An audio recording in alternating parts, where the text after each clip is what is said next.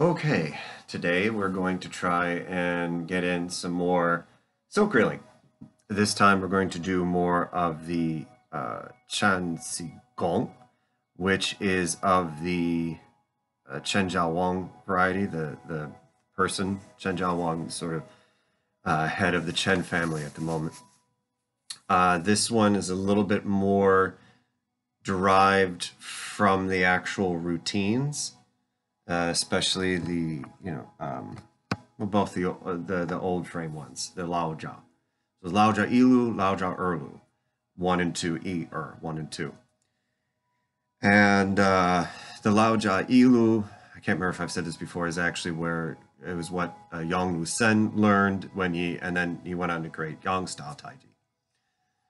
Uh, so Chen Xiao Wang, a lot of times, uh, what what's been going on in, in the last couple call it generations, is that things have been kind of broken down a little bit more. Yang and Chen families have kind of done this where they've had they have these shorter routines. Uh, for example, the Yang family has the 13, the 16, the 49, and these will kind of lead you up into learning the long form, which has various ways of this this uh, figuring out it. You know, 83, 91, 108, 103. It depends upon how you kind of number and and figure out where some of the postures are but they've broken things down into smaller sort of bite sort of things. Because kind of gone are the days of okay well you know you you come in and you you know the teacher plays or the his students play and if you can keep up and catch up and and it looks like you're really doing stuff maybe someone takes you aside really kind of shows you kind of the ropes and how things work. And you know you're still open door student you keep going after several years you keep showing growth you keep showing commitment maybe someone makes you a closed door student maybe and maybe that's after you know three years of just santi or just you know uh, horse stance training or something like that. Gone are those days. Um, for good or ill i don't really have too much of an opinion on that. I know for me a lot of times it helps breaking things down and then i like asking questions and stuff so that's helpful for me but i i've also i can also sit there and kind of be like all right follow and mimic the best you can and, and keep working and figuring it out. What was nice, kind of back in the old days, was sort of the idea that the teacher is doing you a favor by teaching you instead of you doing a favor, uh, like they owe you because you're paying them money. Now, yes, we do have, okay, you know, exchange for good and services, but a lot of times now you get the sort of same behavior you get at any retail or restaurant establishment where because I might be buying something here, that gives me the right to be a butthead to you. Now, I, eh, you'll see a lot of that in a lot of things, even martial arts. But in order to accommodate not only the difference in terms of some of the way people are approaching training, but also just the difference in terms of everyday life. It, eh, you know, the, there's a much more sort of the hustle and bustle sort of thing. So some people aren't able to do an hour, two, three hours a day or something like that of training. They can only put in 20 minutes, half an hour, something along those lines. Maybe it it complements some other workouts that they're doing. So some of these things have been uh, made to be like these sort of smaller uh, bits that you can still get genuine training in, but in in in these sort of smaller kind of ways instead of having to play, you know, just learning the long form over and over again. To it, uh, I think I've explained on the other ones the silk reeling and how it leads from the lower dantian. Make nice, smooth, circular motions leading from here. This is what leads, the rest of the body follows. I think, again, what I'm repeating myself a little bit, it's uh, highlighted mostly in Taiji, but if you play Xingyi, you play Bagua, it should be in that too. Uh, and also, one of the things I want to talk about here as well is shifting and then turning the body. Again, some of this is going to be a repeat from the other silk reeling stuff. Shoulders and hips together like one box. We do not break the box. This all rotates together. You're rotating that center line from the crown of the head through through coming out the perineum. So the bai hui over the hui yin. That's the hotter line. That's the pivot line that we're pivoting on. We do not want to break that line. So in other words, we don't want to do this. We don't want to do this. We don't want to do this anything else like that to break that pivot line. Now, we also want to keep a couple things in mind as well. Your alignments of the knees and the feet. The knees and the feet need to be in line. You should be able to feel your weight pressing into the ground through the heels, not kind of getting stuck in your knees or your ankle or your hip.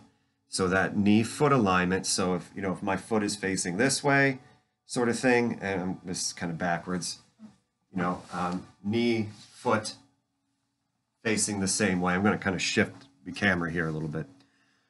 Uh, but also we want to push from heel to heel. So as we kind of push side to side here, I'm loading in from one side, this side is full, this side is empty, and I push, and that weight transfers from one side to the other. As I push, I twist side to side. Now there's going to be a few things in here. Again, it's going to be a little hard for me to, to try and really show given I don't have a lot of space or like a lot of the recording equipment, but there will be some stepping exercises with this too. We want to remember the Tai Chi stepping. We just don't walk whatever. The weight is on the one leg.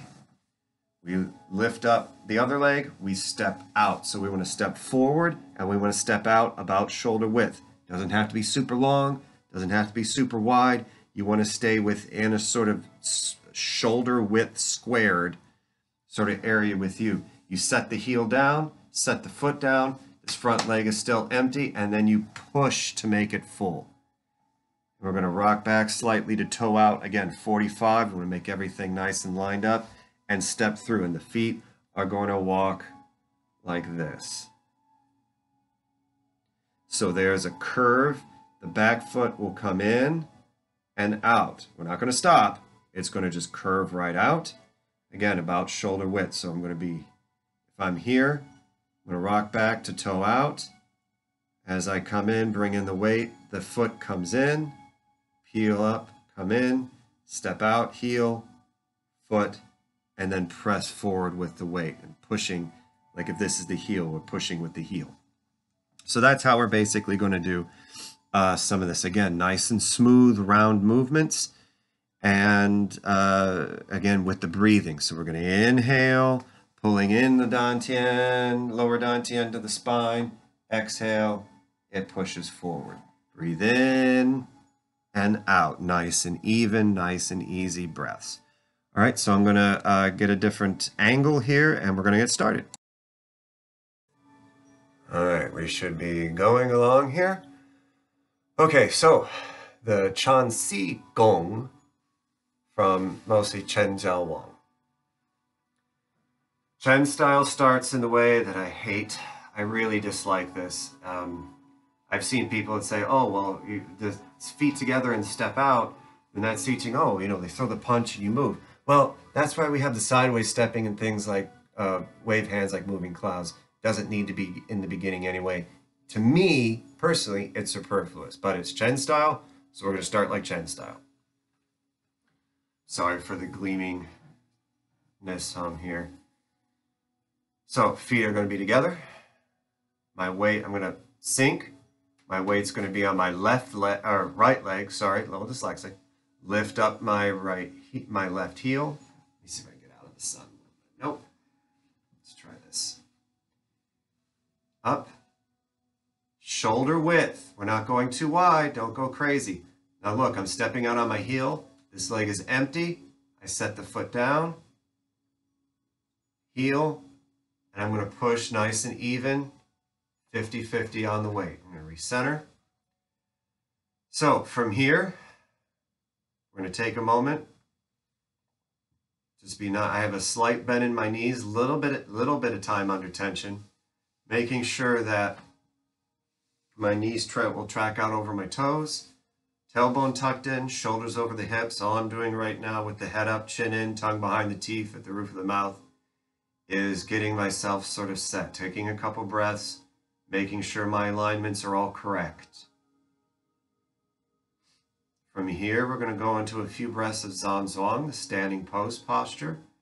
I'm going to inhale. As I inhale, I lift the wrists in front of my body.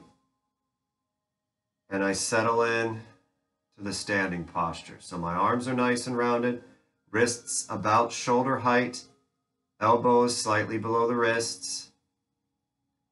It's almost like I'm holding a big ball and it's all resting on my legs. So my arms are nice and relaxed. There's a slight curve around my shoulders and chest.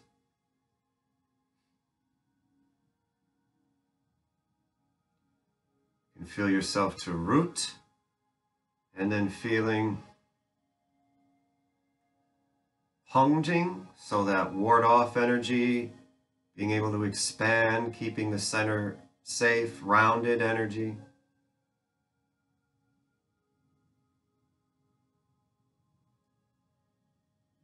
As I exhale, I'm going to release slowly.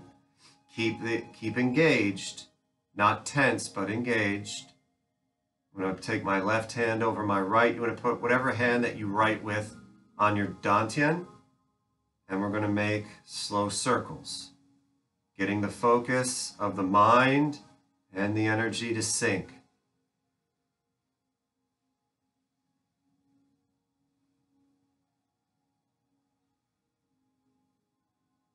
That's reverse. Same as before, what we do to one side, we're going to do to the other. So all you people who hated algebra out there, tough. One more circle. Good. Now we're going to do one hand spiral in front of the body. You can keep your hand here on the dantian, curved up, or on the hip. I usually go with the hip. And we're going to step out a little bit wider, so kind of a horse stance. I'm going to toe out 45 degrees. Knees are tracking out over the feet. Scoop the left hand Again, shift the weight, twist the waist. Notice I'm not hinging, I'm not leaning back, nice and straight. As I roll up, I lift, rotate the forearm, the elbow's still low, I'm not activating the shoulder. Pull across by the face, pull down, and scoop. Sun is right in my eye. Wish they would not have taken down the awnings. Used to be awnings on here and they were super helpful. had to reside the house and then uh, didn't bother putting the awnings back up. Especially in spring and autumn makes things kind of difficult.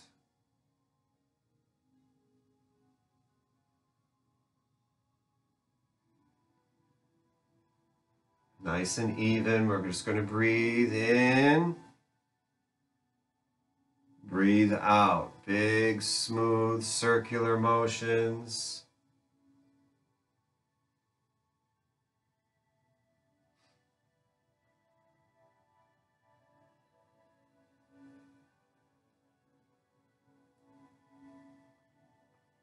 Do one more going this way.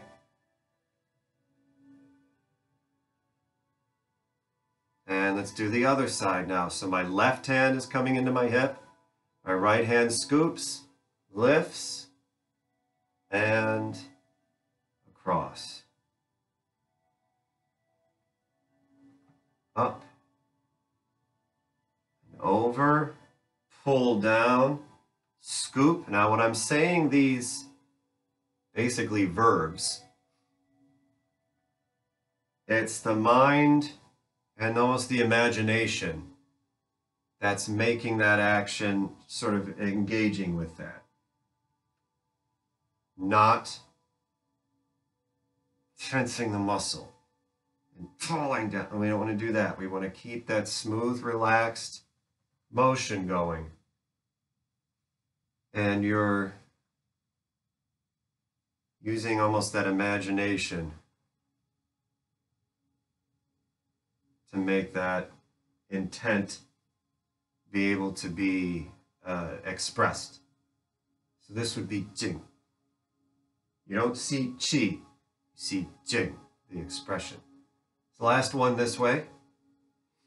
Good. Now again, what we do to one side, we do to the other. So I'm going to bring in my right hand down, bring my left hand back up, and I'm going to reverse. So we went out, we're going to go in. So I'm going to push, smooth down, rotate, lift, and push. smooth down, rotate, lift, and push. Again, I'm still pushing from heel to heel. My body is turning from 45 degrees to 45 degrees. So if you stand dead smack in the middle of the room, your navel and sternum together should be facing the corners. We want the navel and sternum together. We don't want to bind up the thoracic hinge, which is this middle part here. Sometimes over rotating can make the sternum go one way and the navel go the other, and that will bind that area up. There's one thing and one Qigong thing that we'll do with that, and that is because it's actually working on the liver, so it's massaging the area if you do it correctly. And do one more. Otherwise, we want to keep everything together. Switch hands, left to the hip, right hand pushes, smooth down, lift up, face full of sun, push,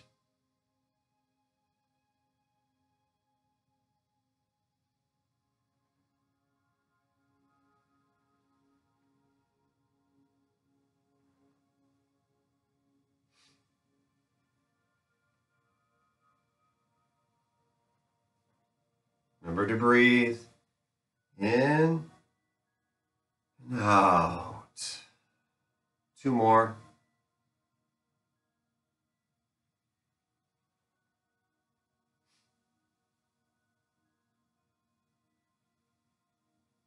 Good.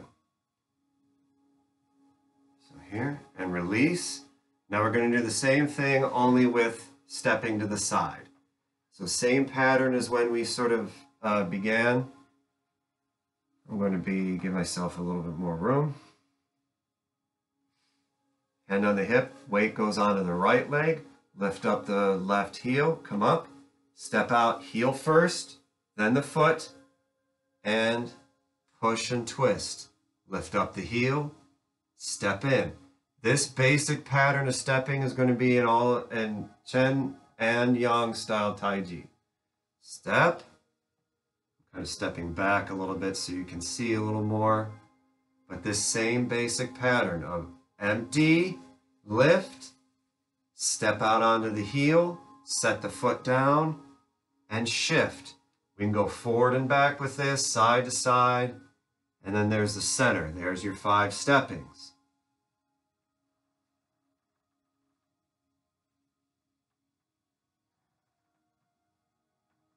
Last one. I'm out of frame. So I'm going to switch. My weight's on the left. Lift up the right heel, step out, pull across, shift, and step in.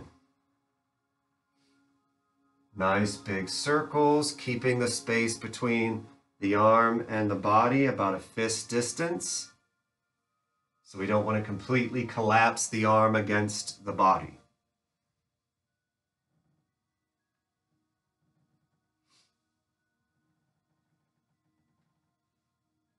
One more here.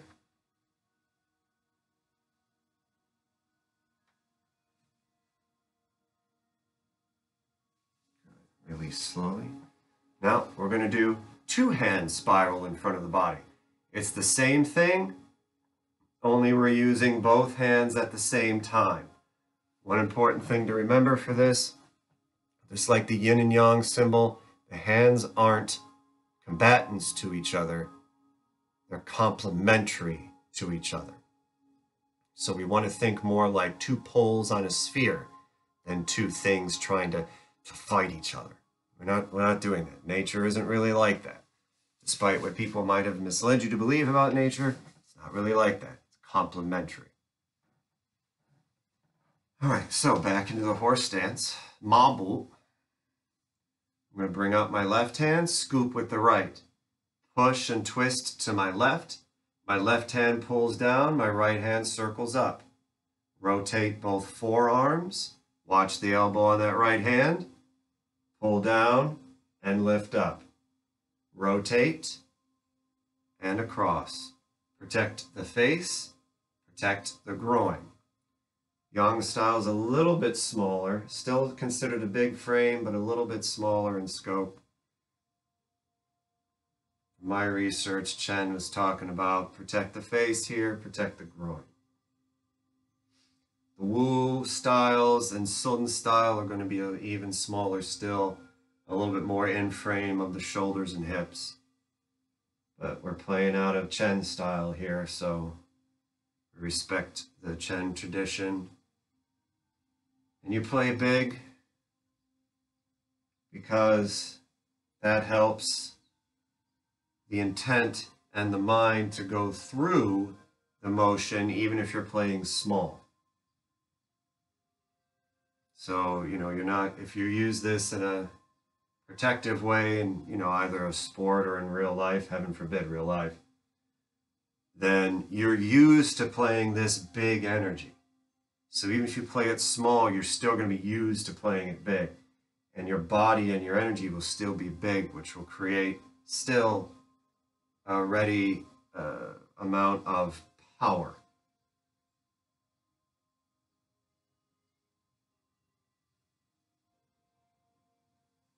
I'm going to do one more each side.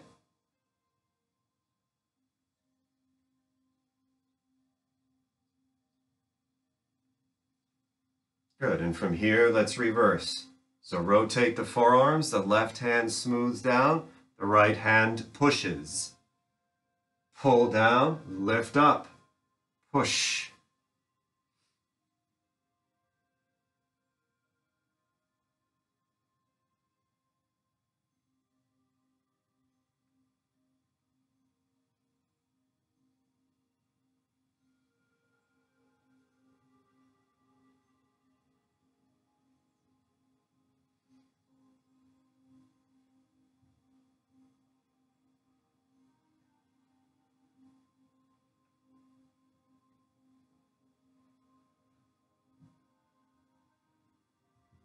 Let's do one more each side.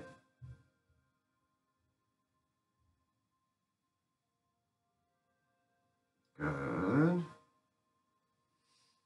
Let it come down. Disengage slowly. Now we're going to again do the sideways walking, but with both hands. This is going to be more the wave hands like moving clouds or cloud hands or wave hands, however it gets translated. That's a little bit more right out of the routine. So this is going to be, again, something like this. Some of this was broken down to be able to, to build up the routine over time. So this is going to be a little bit more right out of the routine.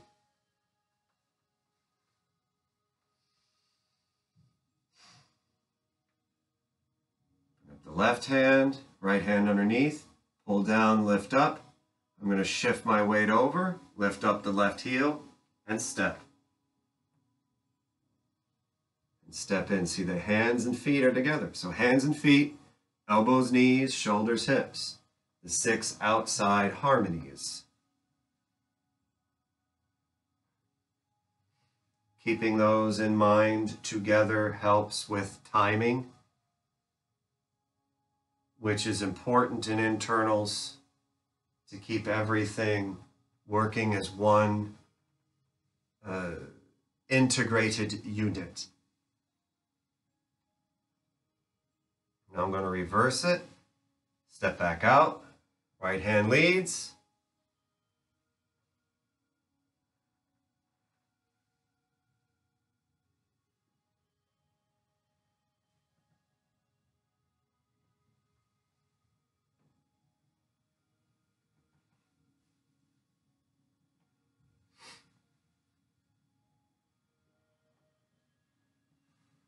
one more.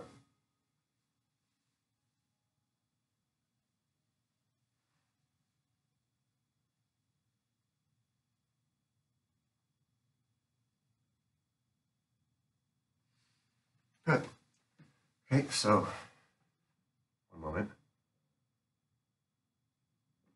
It's super dry. Okay, I need my tea. Be one hand spiral at the side.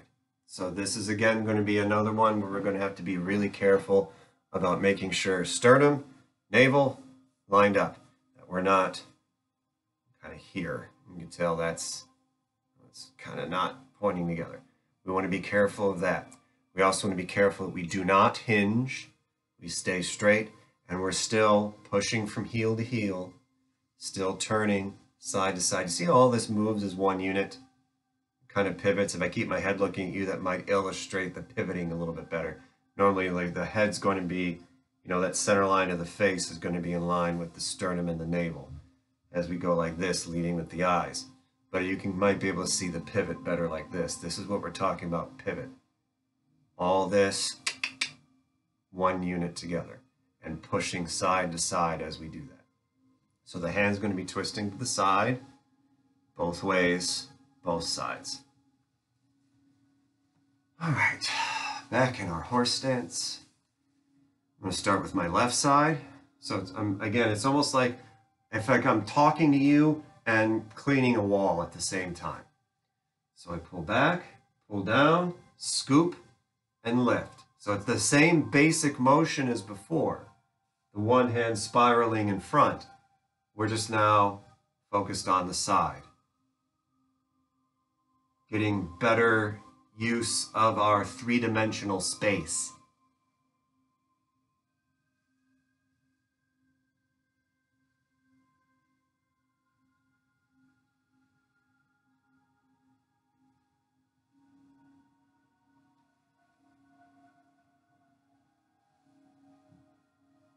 Now watch the knees. We don't want to buckle in.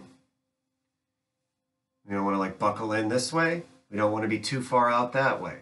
Knee and foot still lined up. Knee and foot still lined up. I'm going to do one more.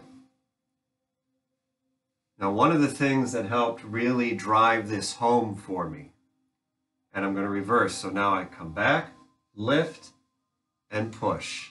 Smooth down, rotate the forearm, lift and push. About, um, be going on six years ago now, about three different things on my spine that I didn't know was going on decided to go on all at once. Long story short, a um, lot of nerve damage and a lot of problems. It was my sciatic problems and knee problems I thought were different things and congenital turned out to be from my back. Still probably congenital. One more here. We're going to switch sides. Up and back. But for four months maybe, this whole leg, from at least here down through the foot, is pretty much numb. None. At best, I would get pins and needles. Over time, it started creeping down, and the majority of the time, it was from like the knee down through the foot, was numb. Couldn't feel it uh, because of my back. Still played every day. Still played every day. Was still able to get decent stances out of it Let's do one more going this way. And was still, except for the, the first week it went out, was still teaching my class. And then when work resumed, because it was during the summer, I was still able to function at work. Why? How, you might ask? Because of my alignments. Because of that sort of balance, that proprioception learned from playing internals. That alignment between the back, the hip, the knee, and the foot, through the ankle even, allowed me to be able to, two more, still be able to play, still be able to teach, still be able to work and function. Good even without fully feeling the leg. And I had done enough practice over the years to know that, okay, it's about 16 years into this at that point in time. So I was, I had enough practice with my alignments that I didn't need to keep looking down and worry about it. I knew when I stepped out, even with being pigeon toed and even with that injury and the numbness, I knew because of the practice and, and, and the, intent I had had before that, keeping those alignments, I knew I was able to play okay. And I would feel the other leg to be able to check. Now, the first couple weeks, I was still kind of checking a little bit because I'm like, but still able to work. Okie dokie. So we're going to do, um, this one is uh, vertical circles, almost like bicycling. Uh, this is going to be a little bit more familiar to you if you've seen some of my videos on playing the, the different planes, because you have the coronal plane, vertical plane, horizontal plane. So we're going to play vertical, forward, and back. So it's almost like bicycles and then like pulling a rope. Okay, let me try this here. That's a little better. So back down. Push the left. So again, now watch the hands here. Might be easier to see it like this. Watch the hands here. How they complement. When this starts coming down, this starts coming up. When this starts coming forward, this starts coming back. And you need to have those in internals because we're almost like dealing with the pressures in the body. So you need to be able to balance those out. And in that circular nature, that spherical nature, actually, it should be there being correct.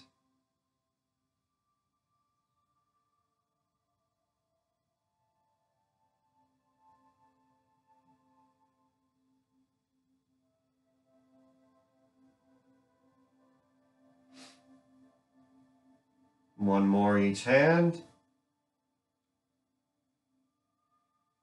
And now we're going to reverse. So it's like pull and same thing. Back, forward, down, up. And again, leading from here. So those circles should be made in the lower dantian and it gets expressed through the arms without now watch, I'm not swimming the shoulders. Shoulders are still down.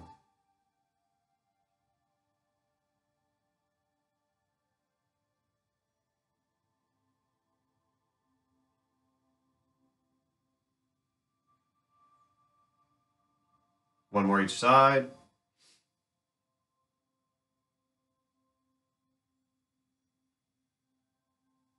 Good.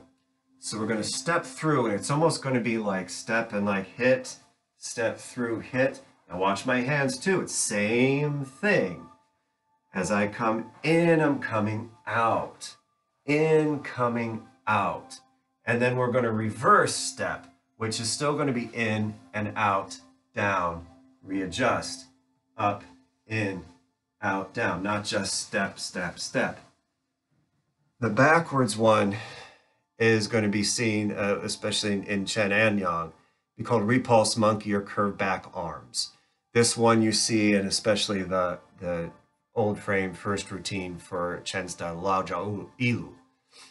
Uh, and then you can play that and then go back into curved back arms or repulse monkey with that. They're kind of uh, depending upon how you want to step, but you still want to have correct Taiji stepping, not just sort of just sort of thing.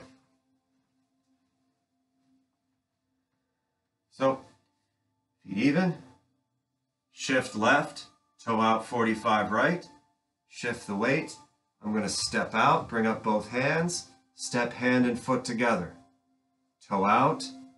As I pull in, I step and push through. Notice the arc of my step.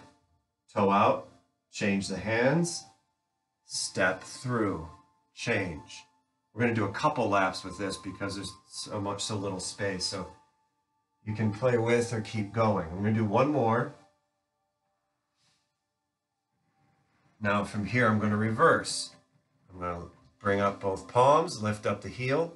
Now since this is Chen style, when I step back and out, pull down and push, my palm's going to be down. Yang style up, Chen palm down. Up, in together, out together. So everything crosses that center plane at same time.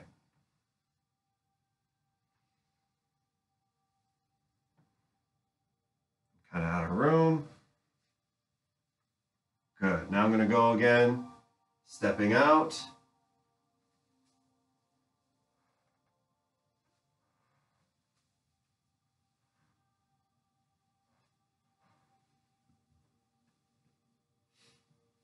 Last one. And reverse.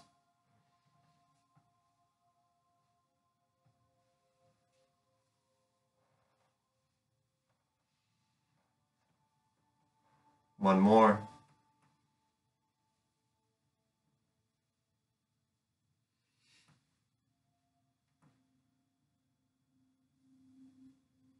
Good. Okay. This one is, it might seem a little weird, but again, it's getting the whole body to move all one thing together and getting this to really start driving. So we're going to do one hand at a time here. So it's it's going to be like rolling the wrist around the hip. And as we do that, whole body rolls. Rolls.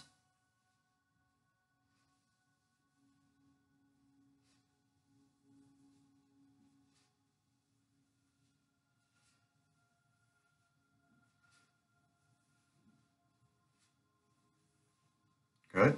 We do one way, we do to the other.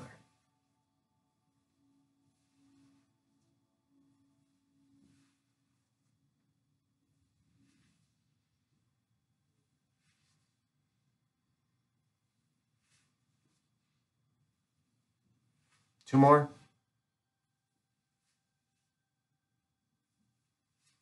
Good. And we're switch. Other side. I'm on my right.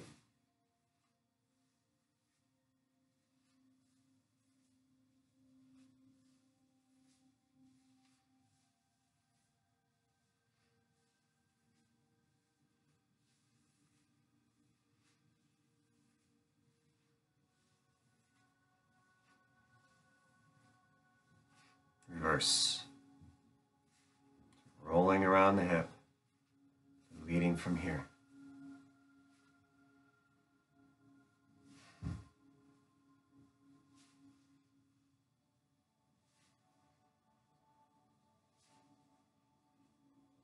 One more.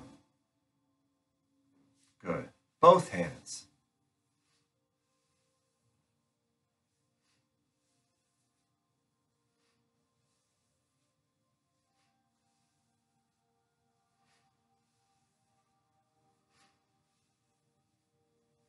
Reverse.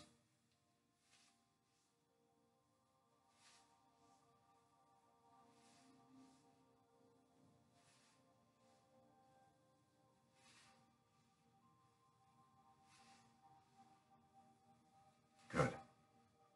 Okay, we're almost done.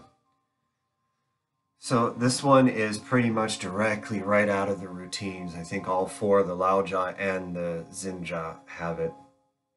Um, I'm going to call it hold up the robe. And it's going to be both hands, only we're going to have a split stance or a bow stance with it. We're still going to use the whole body together. It's going to come up, press down. So this arm is almost like pressing and smoothing. This arm is going to come up and then we like lift up. We've got like a robe, kind of lift up the robe and down. And we're going to reverse it too. So it's going to be go. We're going to reverse, still engage. I'm not at no point, and when my hands come here, they're just sort of dead.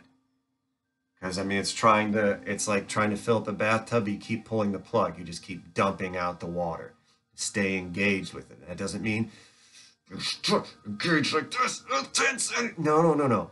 Still here, still engaged.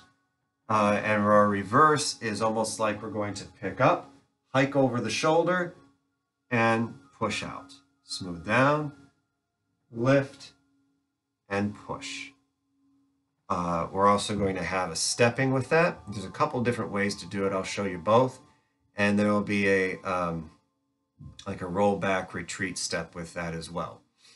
Uh, and then we got one more thing after that. So we're almost done. So hold up the rope. Sun. So with my bow stance, about shoulder width, about shoulder width, long as well. So if I turn this way, I'm about shoulder width. I have to cheat this front foot out just a little bit because again, pigeon toed, but this helps keep this knee and foot aligned. When I come back at that 45, knee and foot aligned. 45 to square straight is what we're going to do with our hips. Therefore, the shoulders as well. So I'm going to start up front, circle up the hands, rotate the forearms. Look where my elbow is too. Elbow's down here, wrist is up here. Elbow up here, that means shoulders too much engaged, too much tense. We want down. So I draw back, pull down, press forward, circle up, come across and back, down, and forward. Nice straight back, tailbone still tucked in.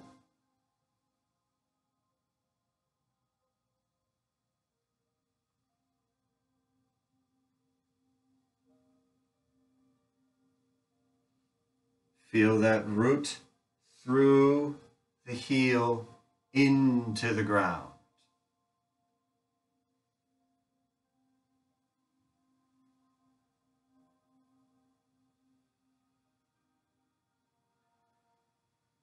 Two more.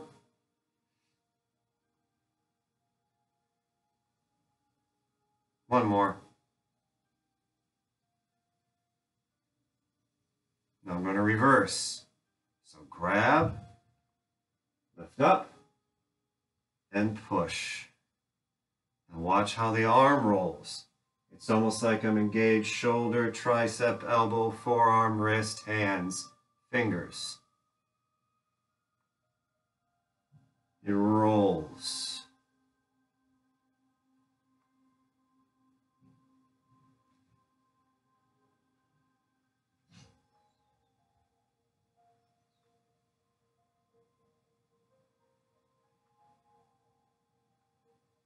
Two more.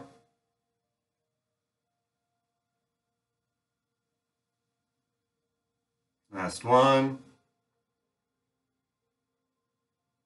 I'm going to switch feet. I'm going to come up. Weight shifts to the right. Step back left. Roll back. Hold up the robe.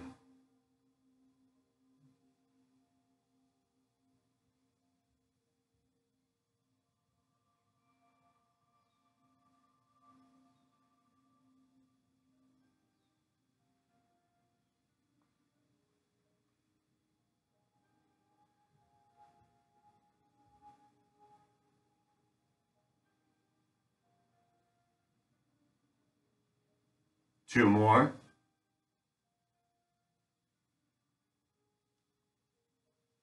Last one. And reverse. Grab, hike up, and push.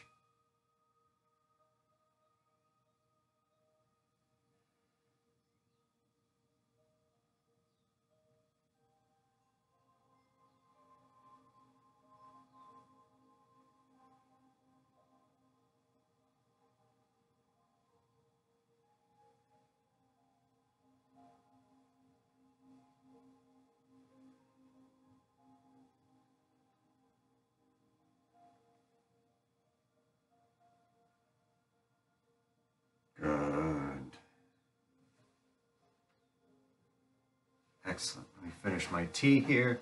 It's again very dry.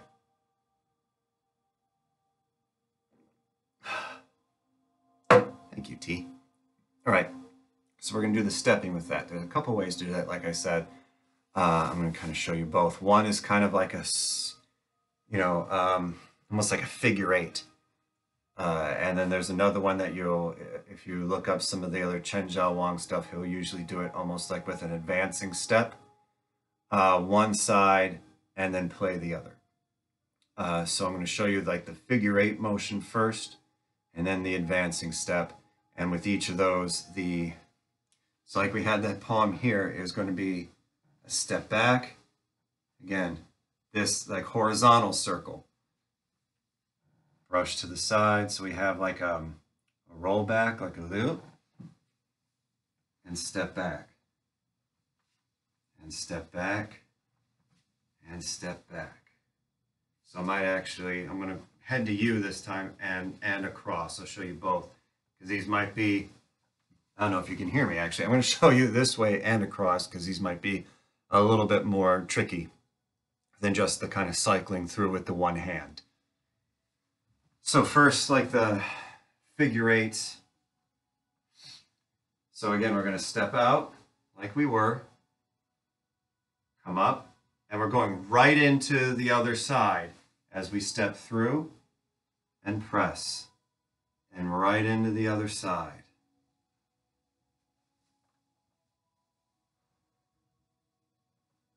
Now notice too, I'm not leading up with my shoulder. Shoulders are still down. And I'm going to bring this hand up, step back. I think this is down, over,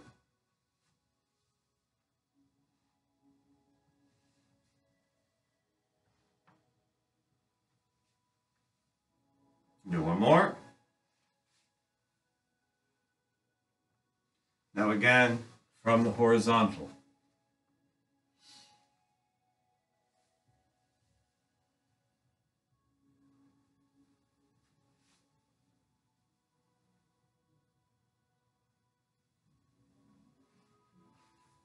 Now notice I'm not rocking back all the way. The only time you really see that are in those simplified Beijing compulsory routines from the 50s, not really in the traditional ones. So I'm going to step back now.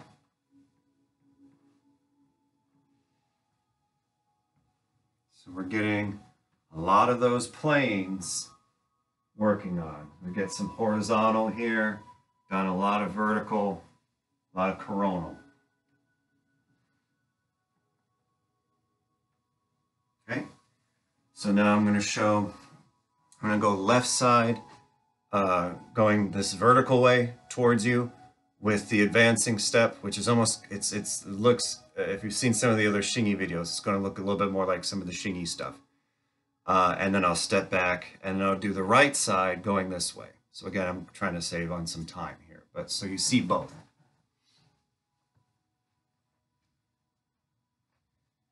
Come up, in, half step up, and then go right into it. But instead of stepping through, you half step up. And it's when the weight comes forward, when you would step, slide step up. This is like a Xingyi step. Fast, it would look like this. Like, um, Beng Chuan, Pao Chuan, Heng, uh, Bao, yeah. Oh, it can be even with uh, Zuan Chuan, but you see mostly with Beng and Pao Chuan. Heng Chuan too, but Heng Chuan also has those angles it's working on a little bit more. Good. I'm going to do the right side, but so you also kind of see the other angle. And my weight goes with the hands. As my hands come forward, my weight comes up. As I circle back, my weight comes back and I can lift and step. I do not step while there's weight on the foot, on the leg. That would be double weighted.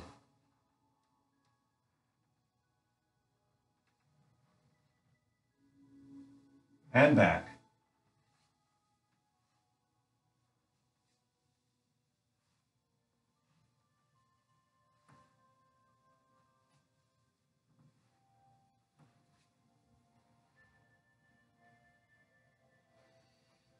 Can do here, we got one more as seen in it Get in here.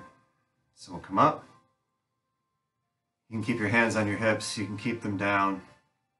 I'm going to put my weight. I'm going to cheat out a little bit again because of my feet. Bend the knee.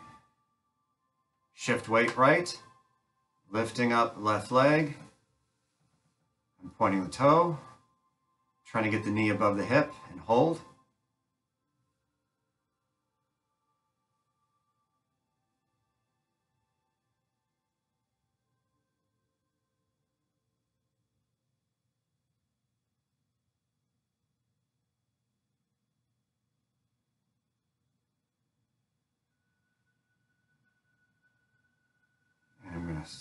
Slowly come down, toe out, slowly shift the weight, plant, and lift the knee. Try and get it above that hip. Point the toe.